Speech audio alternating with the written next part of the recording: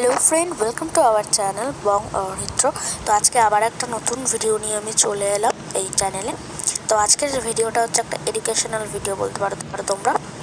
তো সেই এডুকেশনাল ভিডিওটা কি সেটা আমি বলছি। এটা হচ্ছে একটা ম্যান্ডেলা ক্রাফট ম্যান্ডেলা ক্রাফট মানে কি একটু বলি? ম্যান্ডেলা ক্রাফট ক্রাফট সম্বন্ধে একটু বলি।